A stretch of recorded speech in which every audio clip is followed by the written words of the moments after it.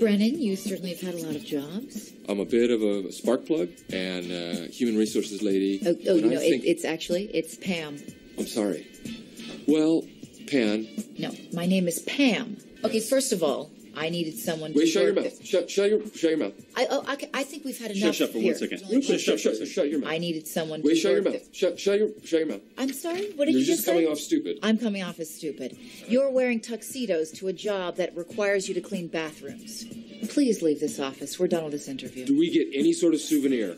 Get out of my office! Now, I could try and explain how that clip from Step Brothers relates to this show, but that would just be throwing gas on the fire. Here's a clip from my interview with Andrew Holecek. Why there's resistance to just calling out Sue Blackmore. You quoted her in the paper. Did you who she was? Oh, I know who Sue is, so for sure. Yeah, I mean, she's an interesting character. So again, I'm trying to get even within that, my friend. I'm just trying to be a little bit more clear about where you want me to go with this, Why'd you quote Sue Blackmore as an example of that? because she Well, has some interesting things on- to say. What does she have that's interesting to say? Well, I mean, she has she has a very uh, kind of vast array of contributions. I I'm not She doesn't Terribly- have anything interesting to say because she thinks consciousness is an illusion and an epiphenomenon of the brain. She got that question wrong on the test, so she wasn't allowed to go to part B, C, D. Well, we, you keep saying that, but you kind of won't go there. It's it's. there. Where do where do you want me to go? I don't know what's the Oh question. man, come on. So really, what do you you're- think- you're- you're- what, what do you think? You heard both these guys. What do you think? Well, again, I'm just I'm, I'm trying to just be a little bit articulate. What do I think about what? Because they both covered some amazing topics. So What did you think was amazing? Well, I mean, again, I, what I find provocative, and I'm not here to judge either of them. That's just not the way I roll. What I find We're compelling, is always judging everyone. I hate when people say that. Of course, you're either judging positively or judging negatively, but we're judge. Feel free. This is a, a judge friendly zone. What I find compelling about what Charlie says is that, again, we live in a universe, in a world uh, where there is plenty of room for other forms of reality. Welcome to Skeptiko, where we explore controversial science and spirituality with leading researchers, thinkers, and their critics. I'm your host, Alex Tsakiris, and today we welcome Andrew Holecek to Skeptiko. Andrew is the author of books like Dream Yoga, Illuminating Your Life Through Lucid Dreaming and the Tibetan Yogis of Sleep, and Preparing to Die Practical Advice in Spiritual Wisdom from the Tibetan Buddhist Tradition. So, we're definitely going to want to talk about all of that, especially as it relates to the recent conversations I've been having with just had lucid dream teacher Charlie Morley, who you may or may Totally. Oh. heard of him. Okay, so that's interesting. Yeah, no, And I think Andrew's work also relates to this larger project I've been on in terms of diving into a deep look at extended consciousness and how these different perspectives might fit together or might not fit together. We don't want to force things that don't fit. Now, one of the really cool things I've found about Andrew is that he's really smart. And there's no substitute for that. I mean that uh, seriously, as you've listened to a lot of these shows. Oh, he has a, a doctorate in dental studies, but before that, he was in graduate level physics classes. He's really smart in that way. Being a dentist isn't really his thing, but because he's this cool spiritual guy and he has this dentistry thing, it led him to create the Global Dental Relief Project, a humanitarian organization that provides dental work for people who wouldn't otherwise get it all over the world. So that's really cool. Does all sorts of that stuff. Also has, for example, just to play off on this thing. So then I run across an article he's published on an IEEE publication, which is like really hard to do. Lucid virtual dreaming antecedents and consequence of virtual lucidity during virtual threat. I mean, this guy is kind of next level smart, but he also breaks things down in a way that's understandable for all of us. So there's a lot we can talk about, including some questions about the tough stuff. He published a post that I think is really important on his website called The Evolution of Abuse, a piece that kind of dives deep into this question that's on a lot of our minds, people in spiritual community, and why Buddhist monks have joined the ranks of other non dual teachers and wind up looking like these pedo pope figures that we see on TV all too often, what's going on there. So I'm really looking forward to this conversation. Before we get started, one last thing I wanted to make a special thanks out there to JP, a Skeptiko listener who suggested Andrew and actually did the first reach out to connect to him. So I'm looking forward to this one. It's going to be fun. Andrew, welcome to Skeptiko. Thanks for joining me. Yeah, thanks, Alex. Thanks for the great introduction and glad to spend some time with you. Well, let's introduce you. I gave folks kind of a thumbnail sketch, but please fill in who's Andrew Holecek. yeah, well, I mean, we can take that pretty far, right? I mean, Ram- Ramana Maharshi's central spiritual investigation, Who Am I? Yeah, I mean, on a relative level, I, am this guy that really approaches uh, the nature of mind and reality through an integral perspective. So I bring and gather and harness truth wherever I can get it. I don't really care where it comes from. I drink the Tibetan Buddhist Kool Aid just because there is some truth to the Zen adage chase two rabbits, catch none. And so while that's my path, I've done a three year retreat. Um, I've been serious student of that tradition for decades. Three year retreat. I mean, that's talk people through what that means. It's, sure. it's quite an accomplishment, really. Yeah, they give you the title Lama when you come up, but I, I'm the kind of Lama. There's two types of Lama. There's Lama as teacher and guru, and there's the Lama that just carries crap around. I'm that kind of Lama. So yeah, but thanks for asking. In, in the in the Tibetan kind of progression of training practices, Tibetan Buddhism, uh, several hundred years ago, if if not longer, they instituted a, a really compelling, rigorous, rigorous type of monastic contemplative training, three year, three month retreat, where you it's like going into a, a meditation university where during the course of three years, uh, really 16 hours a day, very intensive practice, but also incredibly well supported. One has this precious, precious opportunity with with zero distractions. I mean, you're literally locked away from the world. I you, I became a monk and shaved the head and robes and the whole thing. But Alex, what it allows one to do is, in the most concentrated, protected way, to take a really deep dive into the center of yourself. And so I had the great good fortune of engaging in, I, I don't know, 40, 50 different types of meditations. These days, meditation is a catch all phrase. It's a little bit like sport. And when you say sport, there are hundreds of sports. And so, meditation, there are hundreds of meditations. And so, it was a really incredible opportunity to just dive deep into the elegance and the sophistication of, of one of the world's great wisdom traditions and the kind of um, spiritual curricula that they've developed. And I have to say, it was it was hands down the most transformative thing I've ever done in my life. But it was also the most painful. It, it gave birth to my first book when I came out, The Power and the Pain, which is all about understanding spiritual hardship and why why is it so bloody hard to wake up and grow up on the spiritual path? What is that all about? But for me, it just it, it, it just created such a tremendous appreciation for the skill set, these kind of spiritual technologies that especially the Tibetans have come up with that allow you to meditate literally um, when you're dreaming, when you're sleeping, um, in sexual activity. I mean, every conceivable possible state of mind can be explored with this armamentarium, this skill set of meditative tools and for that I feel profoundly grateful. But it was it cost me everything. I lost my my wife, my job, my house. It really was a kind of death for me. But that's where really growth takes place. Growth doesn't take place when you're sitting on the beach with a margarita, hat, fat, and happy. Growth takes place when you're tested and stretched. So lots to say about that, my friend. But in short, it, it really was a before and after experience. I mean, I came out of that completely transformed and have spent the entirety of my life since then fundamentally trying to stabilize the insights that were derived from such a tremendous kind of spiritual incubator. So many things were really born in that type of container. And now the charter of my life is to extend it to virtually every state. And that's part, part of what I do with the books that I write about dream yoga, sleep yoga, bardo yoga, which works with death and dying. So, yeah, in, in a nutshell, that's the kind of what the three year retreat is all about. And highly recommended if people want to take a deep dive into the nature of themselves there's really no better way to do it than that I understand it can be really tough. I wonder, I'm sure you had some dark nights of the soul. I've heard from. Oh my goodness. Things started to, to happen so quickly that I, I really couldn't keep track. And so I just ended up keeping all these types of kind of meditative diaries. And and it's it's a little bit like the the radical iconoclastic teacher Trungpa famously said, meditation isn't a sedative, it's a laxative.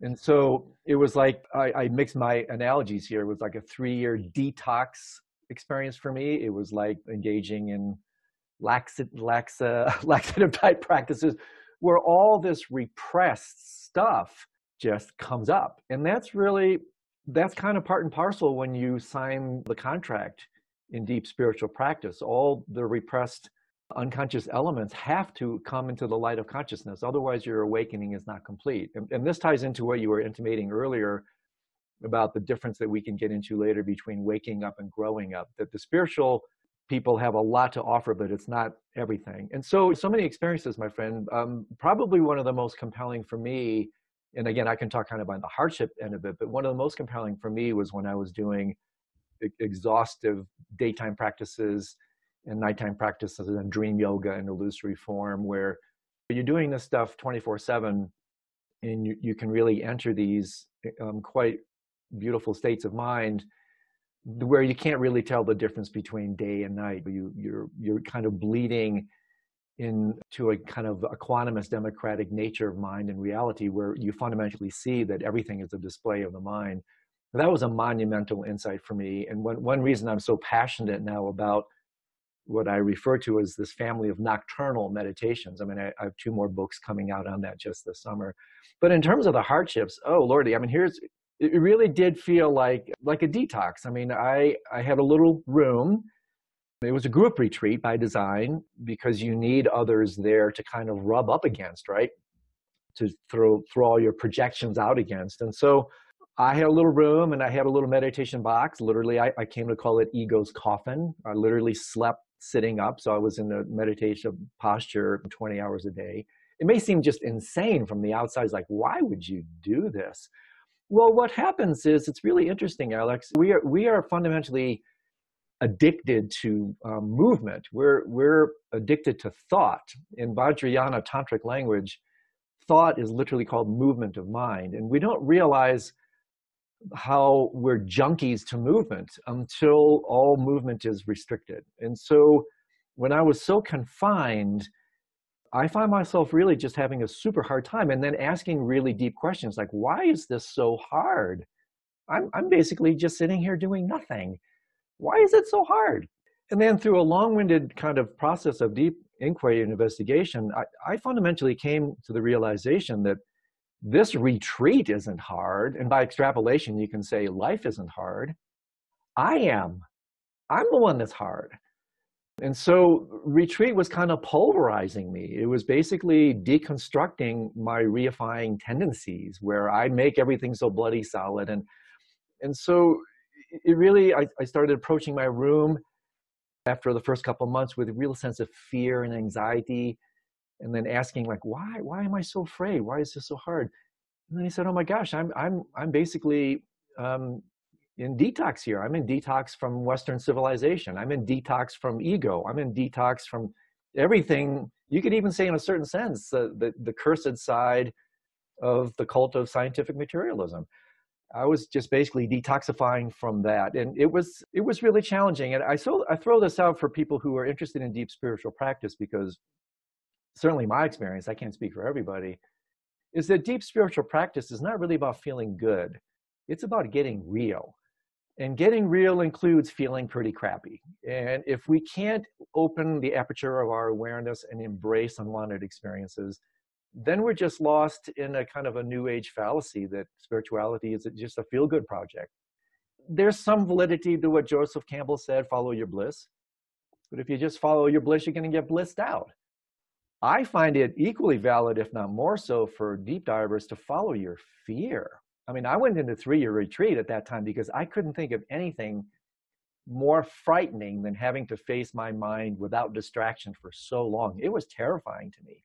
But this maxim, follow your fear, has been a, a guiding point for me. And every time I've done it, it's, it's led to the most transformative illuminative um, insights because really darkness is a code word for ignorance fear is an affective expression of ignorance. If you really want to unearth, ignorance which by definition is very hard to do because it's so insidious i recommend deep divers follow your fear. Fear the word interesting alex the, the word etymologically means comes from a root that means fair f-a-r-e as in toll. I mean how interesting is that? Fear is the fare that really must be paid to wake up and if we don't understand that and we can really riff on this we will basically spend the entirety of our lives and i mean the entirety in a very sophisticated avoidance strategy to stay away from this thing called fear and so if you want to go there, I'm happy to go in that direction, but I also want to come up for air and make this a bit of a conversation. So it's not just me riffing over here. So long-winded response to a poignant question.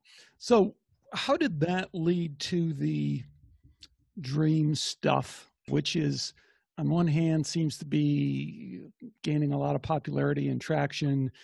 You yeah. seem to be taking a much more serious, deeper look at it from a wisdom tradition that extends way back. Not everyone is doing that nowadays. Some people are jumping in with the biohack, how to lucid dream and a weekend retreat. Sure. Not saying there's anything wrong with that right. either, but what is how has this become one of the things that you do and maybe putting it in a better term what, what are people experiencing from your teachings that they're finding most helpful with regard to that? Yeah.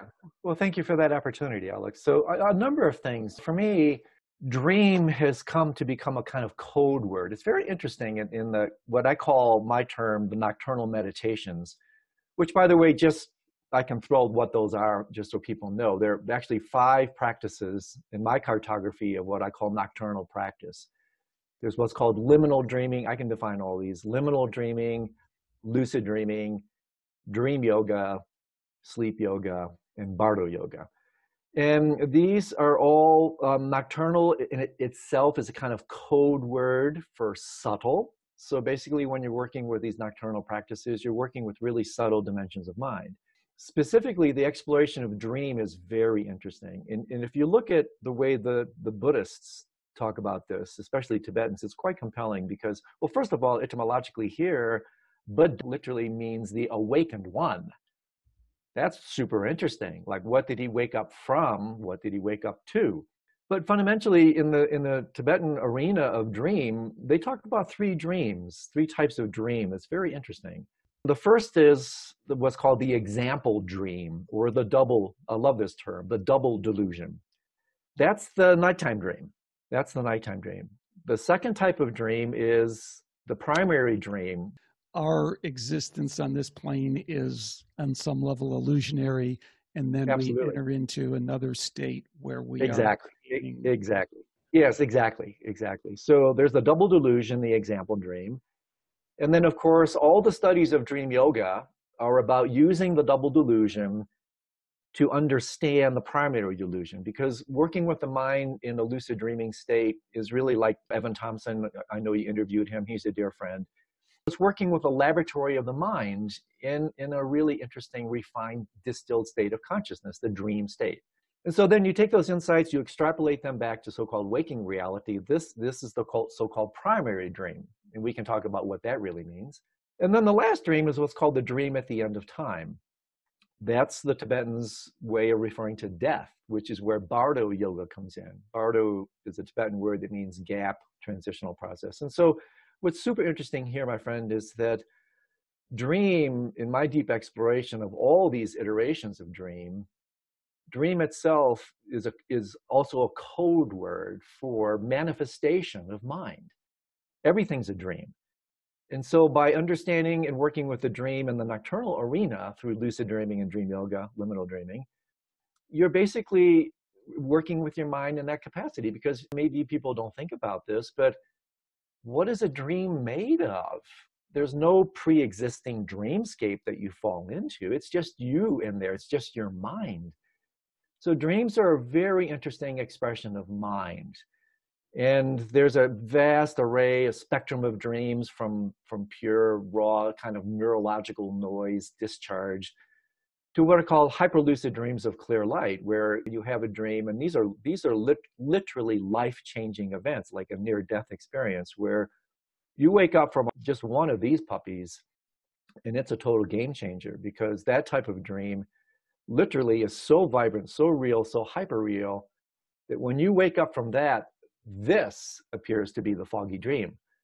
And then you start asking yourself really interesting questions. What exactly is the relationship of my mind, my reality, as it expresses itself in the dream state, and this? And according to the wisdom traditions, not just Tibetan, but most of the non dual wisdom traditions, one of the things that constitutes so called enlightenment or awakening is in fact realizing the utter equanimous nature of all states of consciousness. That literally sleeping, dreaming, dying, all the same, literally one taste, the great equanimity. Everything in the Christian mystical tradition, everything tastes like God. And so we can explore, there's so much to say here. That's why I'm so passionate about this because there's so much untapped natural resources in the nocturnal mind. I mean, think about this. We we spend a third of our lives asleep. 25% of that is in the dream state, which means if you do the math, that's about a month a year. That's well over six years during the course of a lifetime. You can get a PhD in less than six years. Think about how much you could learn if you literally, literally had six additional years of consciousness just what I need, Andrew. One more thing on my frickin' to do list. You have done this deep, deep dive into dream yoga, and people really need to check that out. And the other book that I think people do apparently find really, really helpful and useful, and I haven't had a chance to read to it, that's why I say other people, is your book on dying and the dying process. And there's this huge fear of death in our culture. And that I think right. is super helpful to people too. I want to kind of move it in a different direction a little bit sure. as a way of kind of getting back to some of the things you're talking about. Talking about. So, I'm listening to interviews you've done, checking out your very excellent website. You have some very thoughtful posts on there, and I definitely encourage people to check that out. And I ran across one that really caught my attention oh, in yeah. a couple of ways: the evolution of abuse. And why don't we talk about that? Tell us a little bit about the in general what that's about, and then I sure. want to pick out a quote from that that I think can propel us into a further conversation about this topic. Yeah, I just recently posted this. I, I actually wrote it some two years ago when the next in the never-ending scandals, this one with the Shambhala community, um, came out, and it was like, okay, here we go again the guru sage on the stage from whatever religious tradition but this always has been this yeah. has been kind of a shock for the buddhist community and for the non-dual right. community we thought if i'm not i don't know if we they thought they were above that or at least separate from that or immune to that and clearly they're not yeah it's just it just it continues to cause just such a heap of hurt and so i I finally decided, I, I, wrote this thing and I had a discussion with some publishers and, and then the topic was so hot, we decided to table it. And I decided I'm just not going to publish it. And then a couple months ago, I decided, what the heck, I'm just going to throw it on my site just to see what happens. And so just for listeners who are out there, uh, it's a, I, I titled it The Evolution of Abuse because it basically tries to articulate the kind of vectors of human psychospiritual development that really have to be recognized in order for real awakening to take place. And this is where I draw heavily on, on uh, what's called integral theory which is to me a real gift to the world. It has so much explanatory power. So this is Ken Wilber stuff we've talked. It's not just Ken Wilber. No, I mean Ken Wilber is the is the loudest voice, and he's a genius, and he's a dear friend of mine. But he pioneered it, right? I mean, so well, he he's cutting edge. But if you actually look at integral approaches, it, it goes back quite a bit before him, and he's obviously he's a, a massive voice and a, a great contributor and I rely a lot on his work. But he, again, he's not the only one. There are many other really skillful individuals. But the the fundamental charter of integral theory, when you really kind of spend some time with it, just makes so much sense.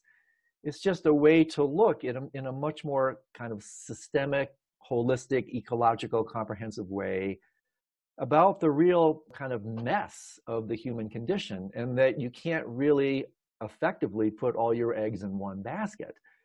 And so we can talk very specifically about what integral theory is, but I think for our purposes here, Alex, that the most important thing for for spiritual practitioners, those interested in this and trying to understand these kind of all these abuse things, is that there are in fact these two different vectors of development. This is and the waking up, growing up thing, which Ken got from John Welwood. That comes from John Welwood, and so the waking up is, is kind of a state. It's a, a kind of development or evolution of state level consciousness. The, and that's what the East, so to speak, um, specializes in, um, working with different states of consciousness. And this ties into what we were talking about earlier, fundamentally attaining lucidity. Again, lucidity is another code word for awareness, right? A lucid dream is an aware dream.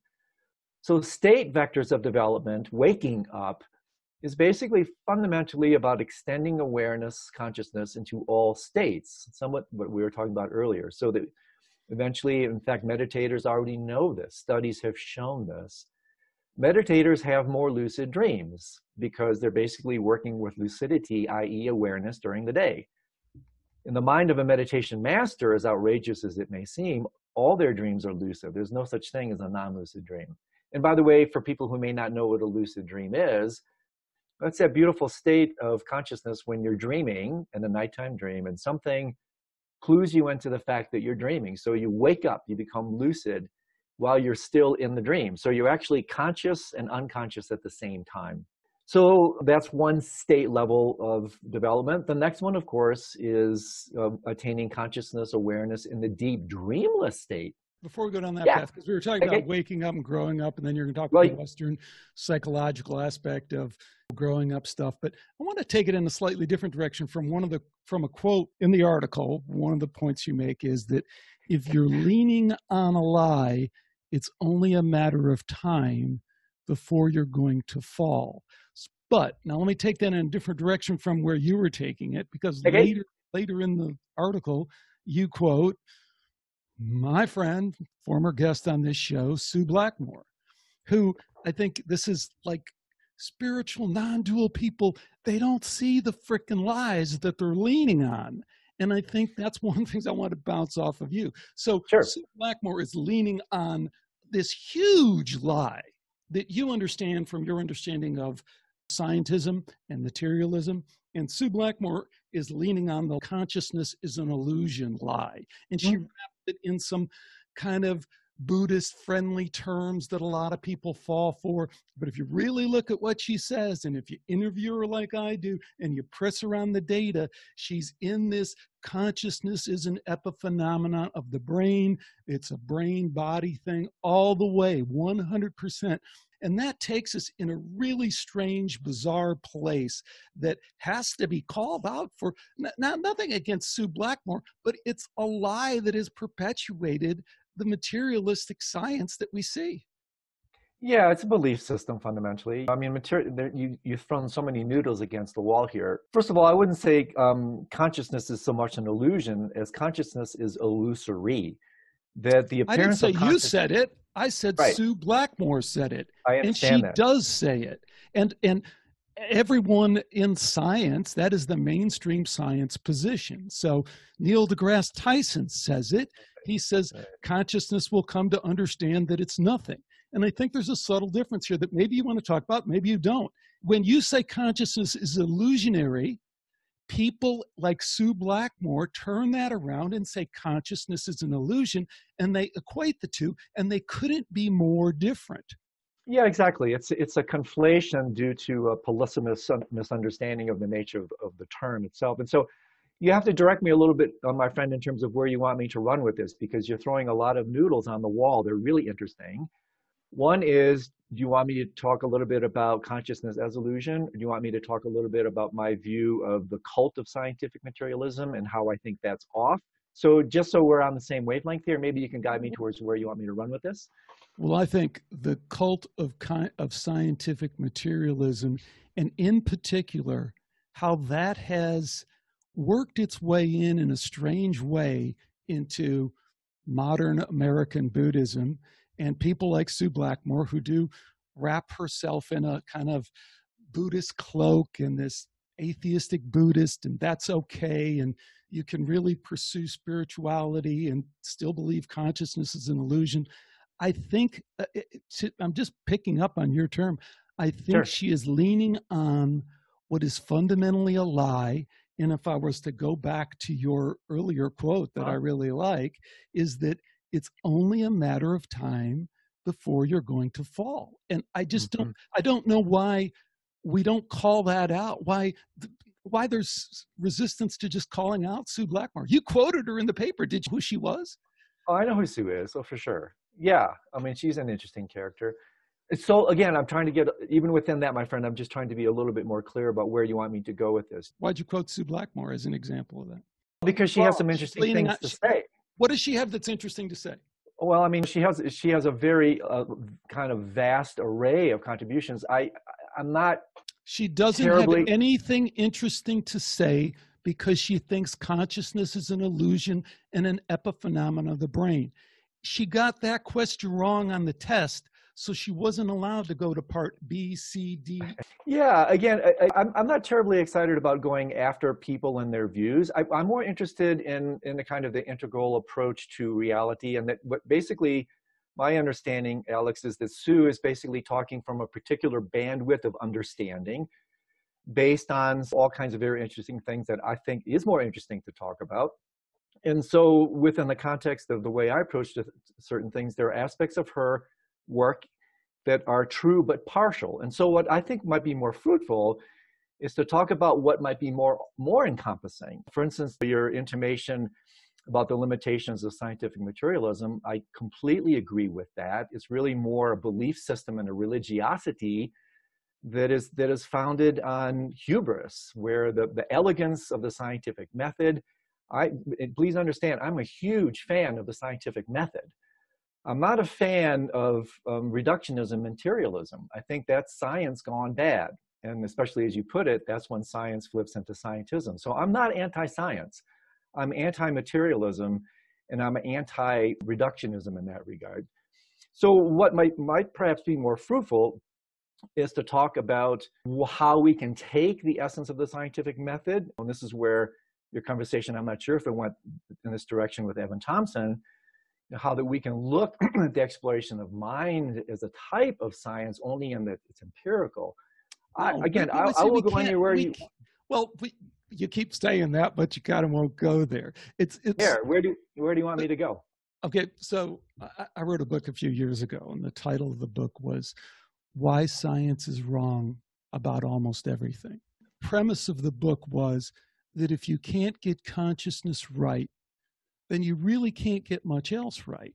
Because if consciousness is fundamental, then you can't measure things. So I'm not caught. Sue Blackmore seems like a nice person, and I like her hair, and she's a great entertainer, and we need science spiritual entertainers. I'm not, any, I'm not looking to mud at her, but I think she's part of this, whether you want to call it deliberate disinformation or just kind of useful idiot kind of thing to redirect people towards this idea that all you need to do is like things and buy things and accumulate things.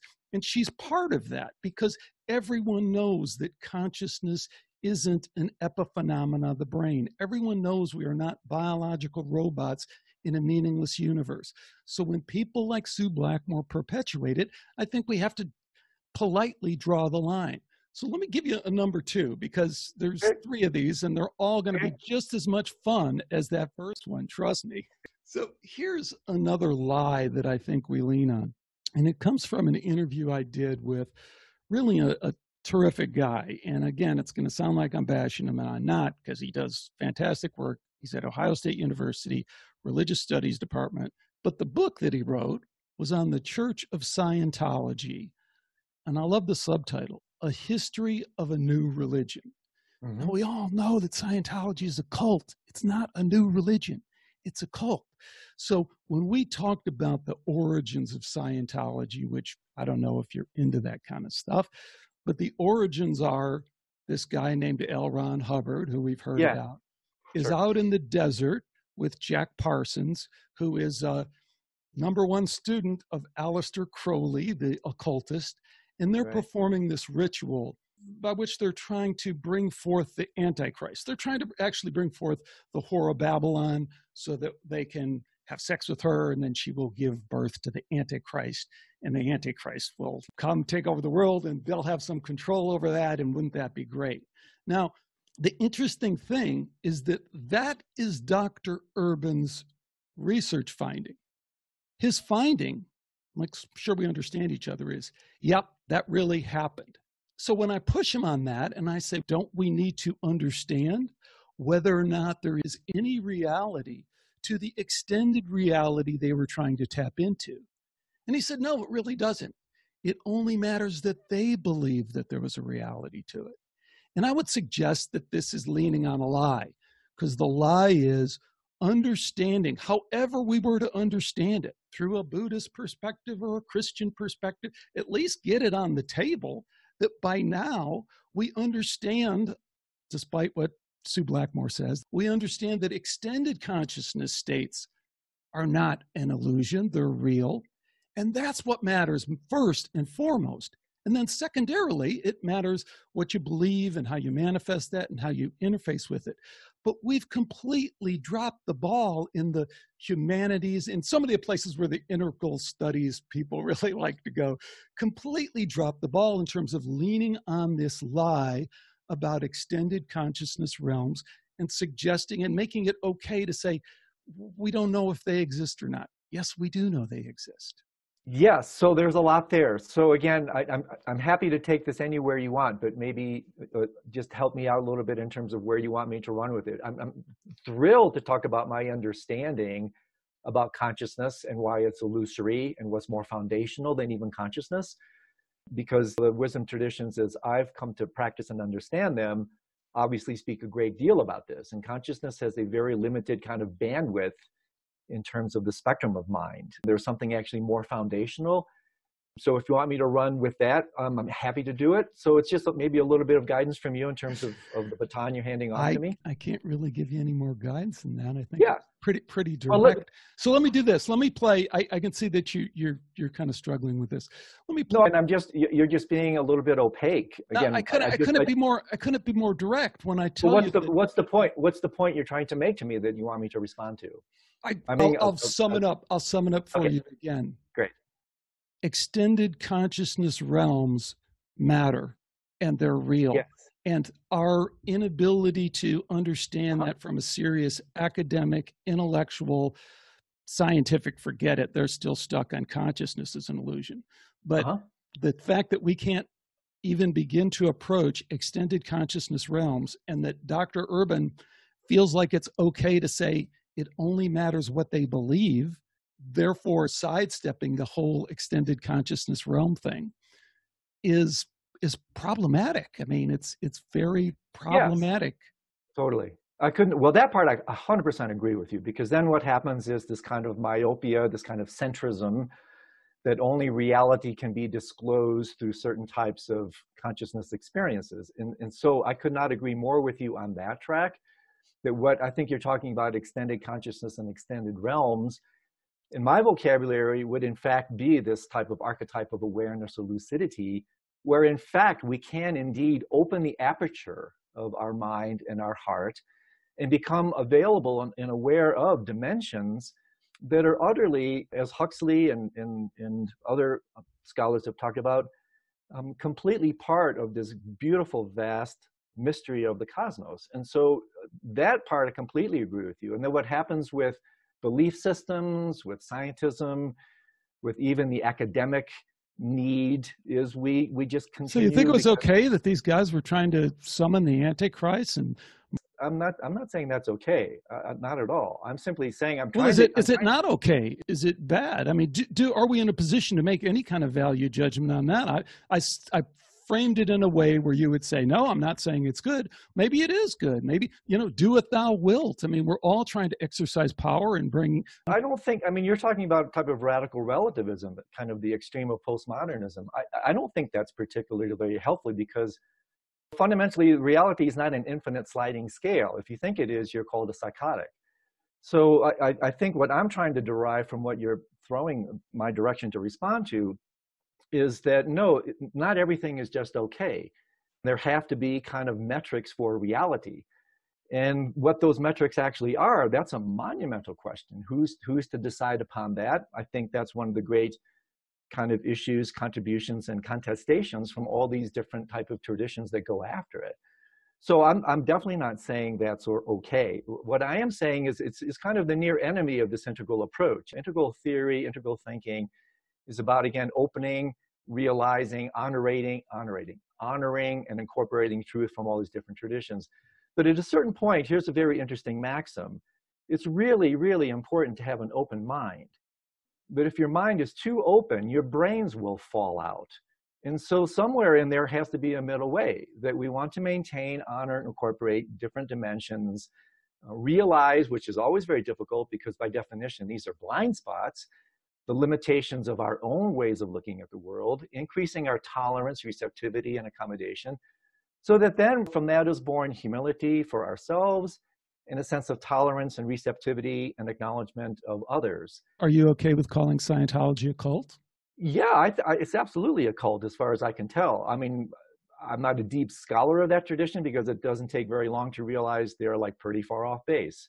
But yeah, I would say it's absolutely a cult, of which there are. So many. isn't it isn't it a problem that we can't call it a cult in religious studies? You won't find a religious studies professor or look at where integral studies are going in academia and find one of those people to stand up and say what we all know it's a cult.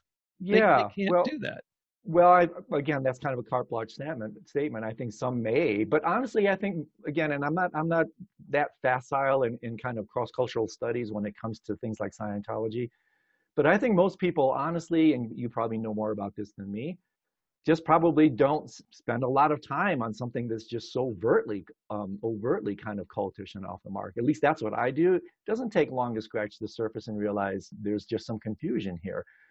But again, I'm quoting I'm quoting an Ohio State University professor, respected professor, and it's not like his position is unique. Let, let me play. Uh, you're, you're, running out of patience. I can tell. Me, I'm not running out of patience. I'm just trying to figure out where you where you're running with all this. I'm definitely not running out of patience. Let me play some clips for you from my interview with Charlie Morley and then with Tom Zinser, and I might okay. pause during these clips. Okay.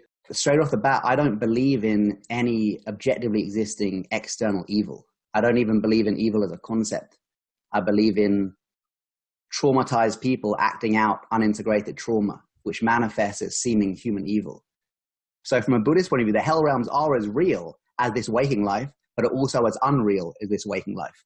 And then I get way out of my depth if the client believes that they have a spirit within them, and if you do like an exorcism and you really go for it and you enter into that, what I would say, entering into the, into the psychosis of the client, then the exorcism could work, right? It doesn't necessarily mean, though, that there was an externally existing objective entity there in the first place, though. Okay, so that was Charlie Morley, and he is a super excellent guy. Love talking to him. Oh, great guy. He's a lucid dream teacher in the UK and we're having this conversation and he's going down this kind of line which i don't totally agree with but then i played for him a clip that i'm going to now play for you andrew okay. and it's from clinical psychologist tom zinser tom zinser has spent oh 15 years working with mainly traumatized people who have experienced uh, disassociation in one form or another. I think you'll okay. catch on to what his uh, what his practice has been like. Okay. My work is basically identifying those things within a person that blocks the light from them. So the protocol developed for the ego states is make the contact, communicate with them, make it safe for them to receive this light love energy, once they receive it, 99% say, Whippy, I, I love this. I don't want to be without it. And then they will move through the sharing and release of what happened to them. For spirit attachment, outside entities, it's a different protocol. They don't belong with the person. They need to leave. And in the worst cases, protocols designed to get to a point where they could be removed it's going to sound like I'm kind of, well, not contradicting myself, but also the Buddhist view is that this is not the only realm of existence. There are like six realms of existence, which can actually be all contacted through the human realm if you had to do it. And these include like hell beings, heaven realms, um, hungry ghost realms. I wanted to say about entities because I realized I gave you the Jungian view on entities, I gave you the Buddhist view on entities. I didn't actually give you my personal view on entities, which is like, yeah, man, anyone who's had like a DMT experience or like moving into kind of psilocybin therapy or, or ayahuasca or something, these are these are not internally generated experiences. Like when people are all having the same experience of Mother Ayahuasca coming over them and she appears in the same way and often is offering the same guidance, you're thinking, this is existing, dude. So I kind of laid a lot on you there, but for people who are listening, just so you understand, Charlie is going down this line. He's an awesome guy, but he has to kind of hold to that Sue Blackmore materialism. It's all in the brain kind of stuff. And that's what he's saying at the beginning. When you can manifest it, it's just your own psychosis and all the rest of that. Then we talk about Tom Zinser, and Tom Zinser says, I've worked with hundreds of people and I spirit possession, I don't know how else to talk about it, with disassociated ego states within these individuals seem to be a reality. And from a Jungian perspective, you treat it like that and it works like that and it's it follows this protocol. And then you go back to Charlie and he goes, well, yeah, I guess there is that part of it too, that the Buddhists do recognize that there are entities that do inhabit consciousness, and maybe it can fold into Tom's idea of these separated like, subpersonalities that separate. So, a lot to cover here, and I just don't want to gloss it all over and integrate it and talk about how dream yoga answers this question. I don't think it does. I don't know. What's the question? What's oh question? man, come on. So no, really, you're, you're, you're, what, what, do you think? You you you heard all you heard both these guys. What do you think? Well, again, I'm just I'm, I'm trying to just be a little bit articulate. What do I think about what? Because they both covered some amazing topics. So, what did you think was amazing? Well, I mean, again, I, what I find provocative, and I'm not here to judge either of them. That's just not the way I roll what I find compelling. We're always judging everyone. I hate when people say that. Of course, you're either judging positively or judging negatively, but we're judge. Feel free. This is a, a judge friendly zone. What I find compelling about what Charlie says is that, again, we live in a universe, in a world uh, where there is plenty of room for other forms of reality. So, what I find compelling with his statement in particular is I really liked what he said that these dimensions are just as real or unreal as this. That to me is the crux of it, Alex, where basically the, the charter to base uh, to de-reify, to look at our reality in a more humble, contextual way, to realize that fundamentally we don't know everything. We don't have kind of ontological rights of supremacy that this is the only reality. I think that's that's what I derive from what Charlie was saying, is that once we really open again, that's the charter as I've come to understand it and experience it. Is we open our minds, we open our hearts, we're opening ourselves to two uh, different dimensions of reality. That to me is the important point. That there isn't just one particular reified thing, as the scientists, as the materialists tend to put forth. My view of things, Alex, is that reality is plastic I think that's what I'm deriving from what I'm hearing here this kind of ontological plasticity that really the world responds in kind to the, to the kind of apparatus of perception, belief systems, and the like that we bring to it. And so this may be tying into some of the other things that you were talking about that it's like how did what's the maxim go? We don't see things the way they are. We see things the way we are. And so that is a really that's a really quite important statement because again it brings about a sense of humility that my view is just that it's just my view which is why i'm always le- reluctant to criticize the views of others unless they're ragingly off base. There also is this interface with this reality. So what i appreciate about tom zinser who again is a cl- uh-huh. clinical psychologist right? He's a people helper in grand rapids michigan. He's retired now but for years and years, and the interesting thing about Tom's story is he's got a PhD, Texas A&M, trained in a mental hospital. He's got all the credentials, right? And people are coming to him, and he's frustrated because he's not able to help people. People have trauma, and he sure. can sometimes help them, but not always. Right. When he when he starts having an encounter with a spirit guide uh-huh. named Jared, Jared starts guiding him in terms of how to help these people with spirit entities that are uh-huh. interfering with their life. Now, uh-huh. we can take your approach. and say, well, gee, I don't know if there's any reality to that. It's what we make of it. Or we can go back to Hugh Urban. It doesn't matter if that's true, it matters what they believe.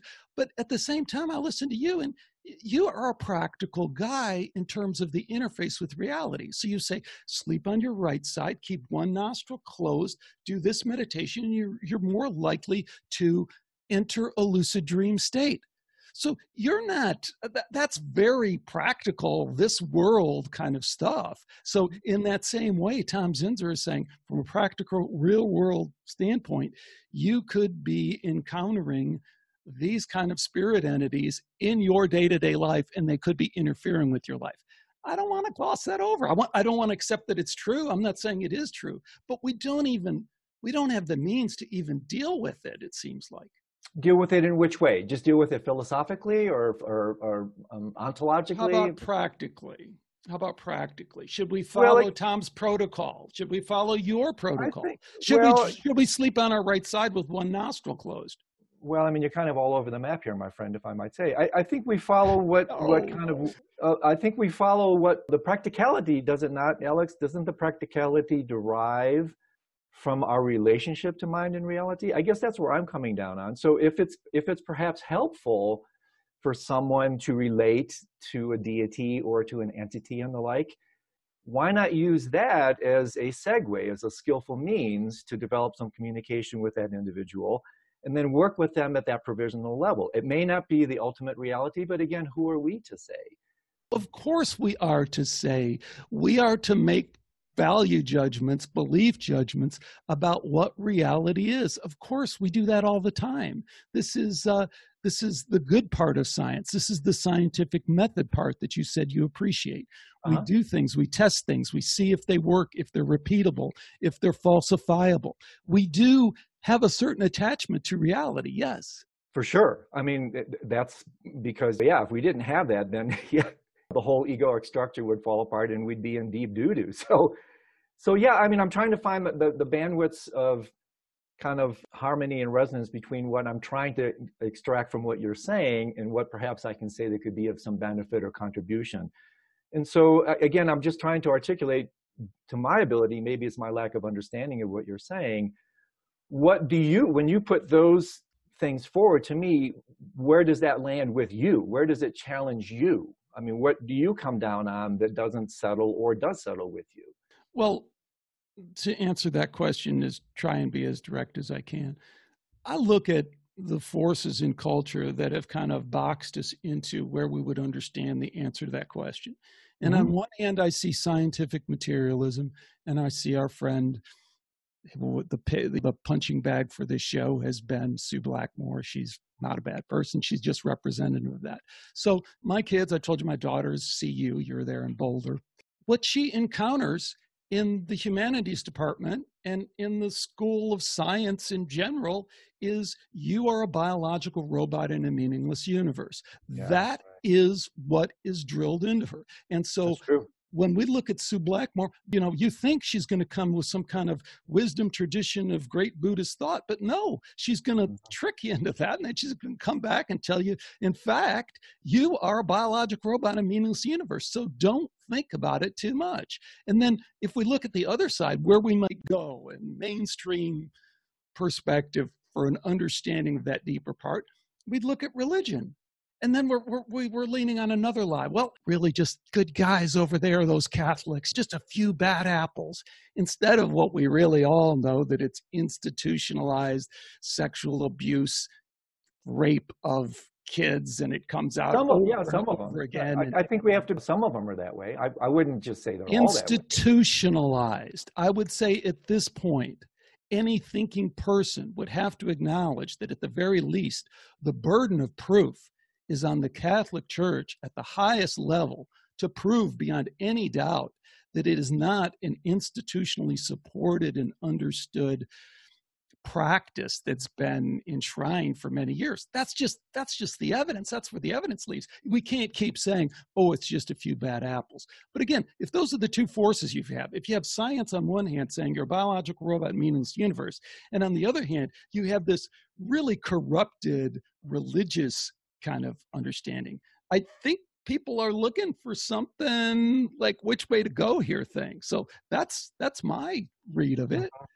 Yeah, yeah, yeah. I mean, what's isn't it true, Alex, that the, the human condition is really just very sticky, very messy, and so I think what we are trying to do, people like you and I, is make sense of a very complex situation. And so I do it with a particular apparatus of biases and, and um, value judgments and skill sets. You do it with your own.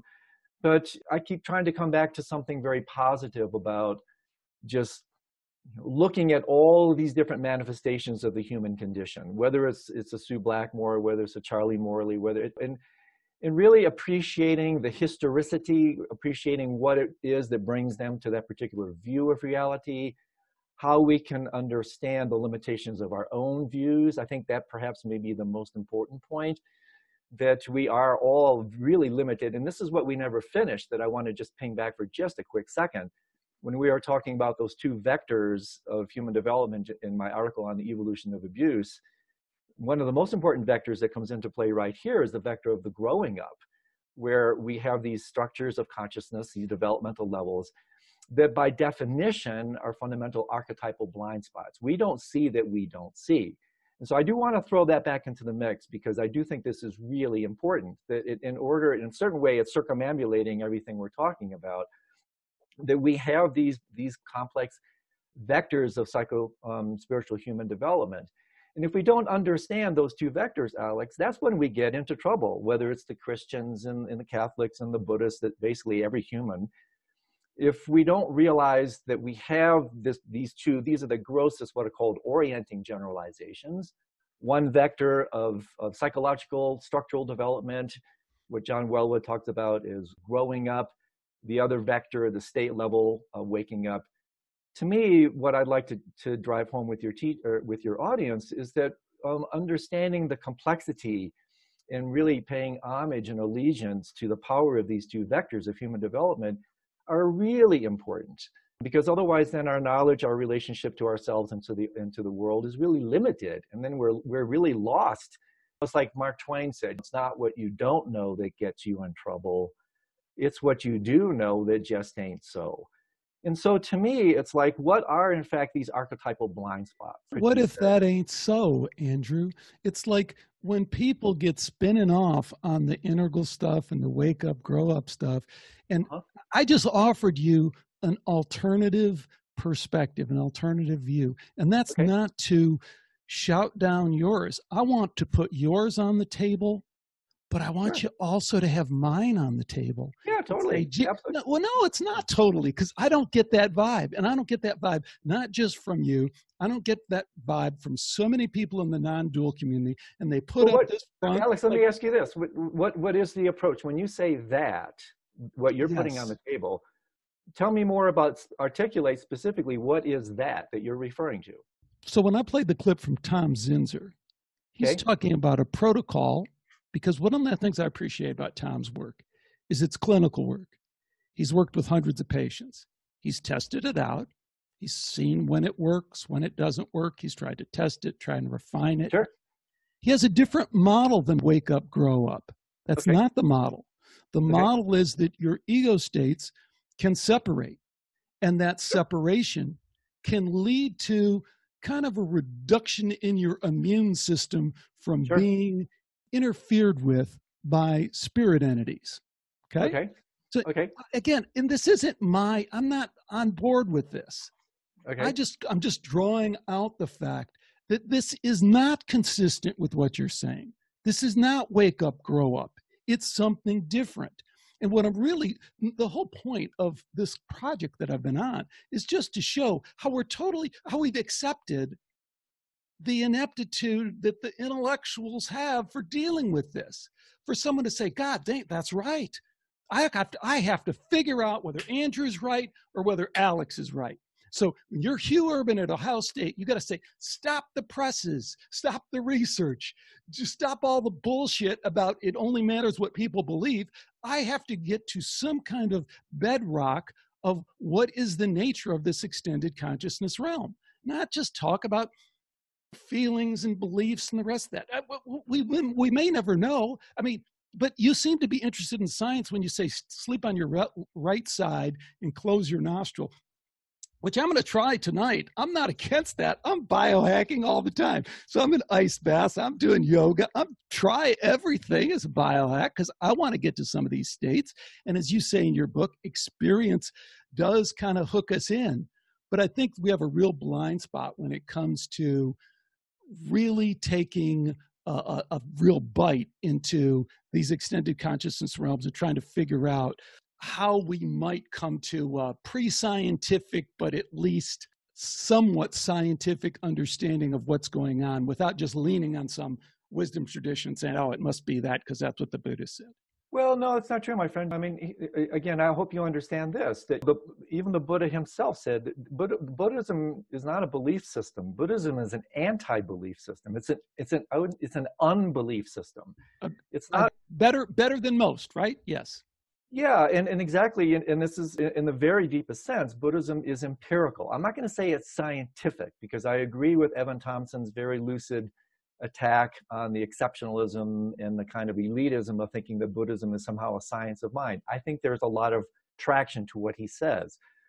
But the, the great thing about these wisdom traditions, and it's again why I am an allegiance with them, is because of their empirical nature. They're, they're not based on um, beliefs and conjecture they're based on here's a certain say, you could say here's a hypothesis, there's this thing called the enlightened state, here's a hypothesis, there's this thing called lucid dream, lucid sleep, and then here's a way to actually bring this into your own experience. And so that empirical approach, the ability to test it, to find out for yourself whether this speaks to you or not, is really what's important. And yeah, I mean, I guess that's where I, I rest, and it's one reason I take refuge in those approaches because they're they don't really espouse belief, they espouse criticality. And in fact, the Buddha himself said, as with Socrates, questions are more important than answers. The questions are what's really important. How you send the mind in either directions that are conducive to the uh, inquiry into reality or not. And even Heisenberg very famously said, What we discover in science is not reality itself, but reality as it's revealed by our methods of investigation. And so, therefore, to me, again, it's like it's, it's how we ask the questions, where we direct our attentions, where we direct our, our efforts. And then reality, in a certain sense, is cooperative. Reality will disclose itself based on the kind of investigatory lens that we bring to it. And so I, I think that's what's, what's somewhat important here, and that people have different lenses some are more in resonance with reality than others. Some send them barking up the wrong tree versus trying to find the right one. And so to me, it's like honoring that, understanding that, acknowledging the kind of messiness of the whole thing, and then realize we're all more or less trying to do the best within the limitations of what we have. So, I mean, somewhere in there are the kind of a handful of noodles that I throw against the wall. Fair enough. Excellent, really. Our guest again has been Andrew Holecek, and he's been super kind and generous with his time and to withstand and put up with my badgering questions. There's a couple of books you're going to want to check out, and I want him to tell us more about that and he some of the upcoming books he has in the works. It sounds like, but Dream Yoga, Preparing to Die are two of them. Andrew, what else is coming up for you? And thank you, thank you, Alex. For uh, it's always a, appreciated when I can set up my lemonade stand for just a second. Yeah, I have two books coming out this this summer. One is uh, kind of a uh, more kind of prequel entry level book called uh, the Lucid Dreaming Workbook. It's kind of a, a more on ramp to the practice of lucid dreaming altogether. And then on the complete other end of the extreme is a very deep dive. This is um, the second book in a trilogy I'm writing for my publisher Sounds True. This one's called Dreams of Light, the profound daytime practice of lucid dreaming. And this is a, a deep exploration of the daytime practice of lucid dreaming, dream yoga, um, which is called the practice of illusory form, and the science that supports it, the meditations that help you reveal it. And the reason I, I wrote this book, Alex, is because as you probably know, lucid dreaming promises a great deal promises a lot, but it's hard to deliver on these promises. There's lucidity is not such an easy thing. And so this book was written as a way to give people a different set of skill practices that allow one to realize the same kind of dimensions of insight that lucid dreaming and dream yoga bring about using daytime methods. And so it's, again, this larger charter of using these great gifts from the East and the West is basically a way to, to perhaps invite a, a, development of the human condition. How can we actually be, be more awake, be more lucid, and therefore be of benefit to ourselves and others? So thanks for the opportunity to plug those. I'm always grateful when people provide that for me. So I'm, I'm really excited about both books. But the Dreams of Light book is one I'm really quite excited about because it's a, it's a pretty deep dive. So thanks for that. Well, that's awesome, Andrew. And again, uh, it's very encouraging for me when people can have these kind of sometimes uncomfortable but too infrequently done kind of conversation. So thanks for hanging in with, with me Good. and all that. All right. Thanks, Appreciate it. Thanks to Andrew for joining me today on Skeptiko, and a special thanks to JP, a skeptical listener who helped me set up this interview. JP, I hope we got what we wanted out of this one. It may be different than what we thought. So, at any rate, the one question I tee up from this interview is the hater's ball kind of question. And that is it's nice to be nice, but is it good to be nice? I mean, this is kind of a deep skeptical question, but maybe it's kind of pretentious to even think we can answer any of these questions. But if we can, I kind of play off the idea that Donald Hoffman threw out a few episodes ago, and that is if we are going to speak, let's try and be as precise as possible. So for Hoffman, that's mathematics, and that has some nice aspects in terms of being precise, but also has some limitations as well. But maybe precise in this case means sometimes not being so nice. I guess there's a question in there somewhere. Let me know your thoughts. Join me over on the Skeptiko Forum, or just drop me a note. Let me know what you think have some good stuff coming up. Stay with me for all of that. Until next time, take care. Bye for now.